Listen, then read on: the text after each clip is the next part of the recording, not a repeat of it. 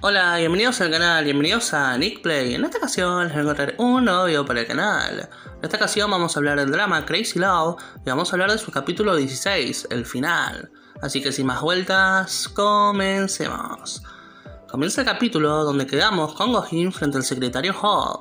Pero no pasa mayores ya que llega Seki y le da una golpiza por lo de su hermana, ya que vemos que este había planeado todo este encuentro con Gohin. Seki se entera más cosas de su hermana y el secretario Ho, y este le sigue echando la culpa a Gohin y nos hace cargo. Finalmente vemos que llega la policía y se lleva al secretario Ho. Gohin y Seki quedan juntos hablando y Seki se siente avergonzado por todo lo sucedido y cómo actuó con Gohin, pero vemos que este lo apoya. Luego de esto, Jinna va a la casa de Gohin a verlo y lo encuentra con Seki. vemos que ahí justo llega la presidenta Baek y necesita hablar con Gohin, así que vemos que Seki lleva a Jinna a la oficina y la presidenta Baek va con Gohin a caminar vemos que ellos hablan, hablan de su pasado y se piden disculpas por lo sucedido y quedan en paz, como dejando esa etapa de su pasado atrás. Más adelante, Gohin vuelve a ver a la instructora mala y le dice que le devolverá su empleo, algo que ella mucho no quiere porque se siente apenada por todo lo que hizo, pero Gohin le insiste. Y lo mismo Gohin hace con los distintos instructores, que convence a todos menos a uno que se está por jubilar, lo cual Gohin acepta.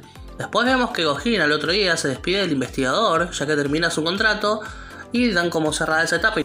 Más adelante vemos que Jinada se reúne con el señor Park y decide trabajar en su empresa, pero con la condición de no dañar la imagen de Gohin.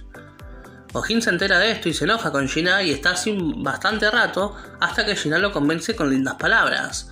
Y vemos que luego ellos hablan y creen que es lo mejor para la pareja y para ella que estén en distintos lugares. Al otro día Gina se reúne con la presidenta Baek y hacen las paces, quedan en paz, y la presidenta Baek se va contenta porque cerró una etapa ya de su vida, ya habiendo hablado con Gohin y con Gina. Saki por su lado visita a su hermana con dolor y promete cuidar por los dos a su padre enfermo.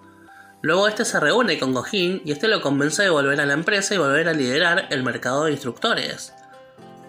Por último, el capítulo termina con Shina dando su primer clase y le va bastante bien. Gohin la busca a la salida y van a caminar y este le propone matrimonio.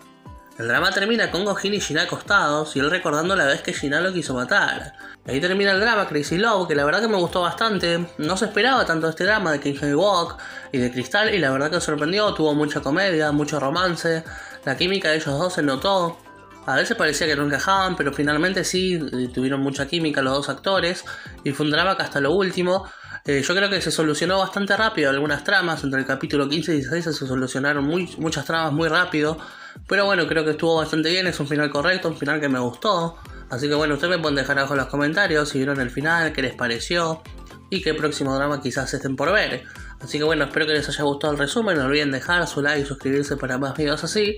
Y sin más que decir, nos vemos en la próxima en más Nick Play. Chao.